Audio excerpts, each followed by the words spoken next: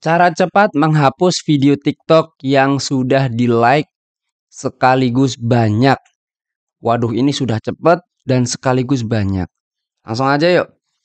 Kita pertama pergi ke aplikasi TikToknya. Boom. Ah, setelah pergi ke aplikasi TikTok, di sini kan ada menu beranda, shop, buat video, kontak masuk dan profil. Nah, habis itu kita klik aja profil. Boom. Setelah klik profil di sini kan ada gembok, ini video yang privat, kemudian ini video yang disimpan dan video yang di-like. Kita akan menghapus video ini semua sekaligus. Oke? Jadi cepet.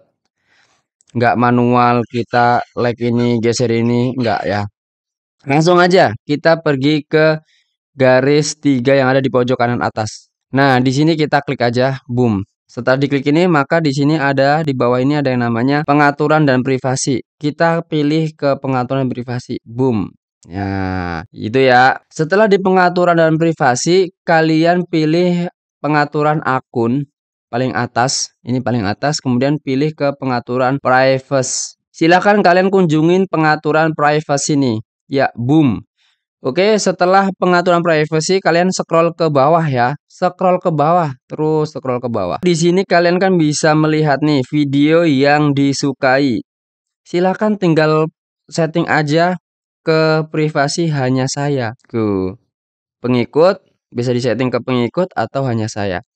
Kalau kalian sudah setting ke hanya saya, itu menghapus atau sudah menyembunyikan video yang di-like. Ada yang cara kedua, memang di sini kan tidak ada pengaturan langsung otomatis menghapus semuanya ya, tidak ada. Tapi kita bisa memakai cara yang kedua.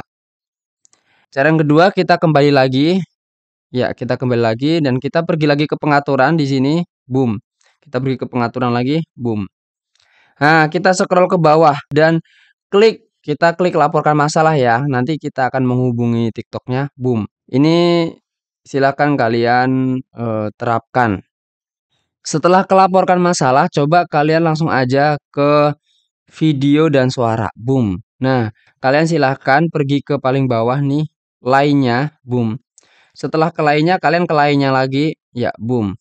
Habis ke lainnya, kalian perlu bantuan lainnya, klik lagi ya. Yaps, di sini kalian langsung menulis misalnya tolong uh, hapus hapus semua video yang berada berada di daftar like. Nah, misalnya ya, kalian kirim gambar lah silahkan ya. Kirim gambar apa, misalnya kalian udah screenshot apa gitu ya teman-teman. Kirim gambar, misalnya ini ini anggap aja ini gambar screenshotan.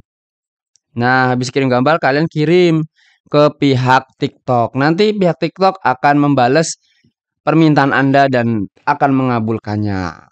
Harusnya mengabulkannya karena kan kita bisa request seperti itu. Nanti lama-lama si TikToknya itu kalau banyak yang minta akan ngasih tombol e, menghapus secara banyak di aplikasinya. Itu malah jadi buat masukan untuk aplikasinya sendiri. Gitu, teman-teman.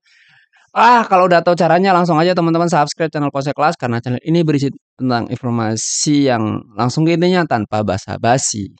Bye.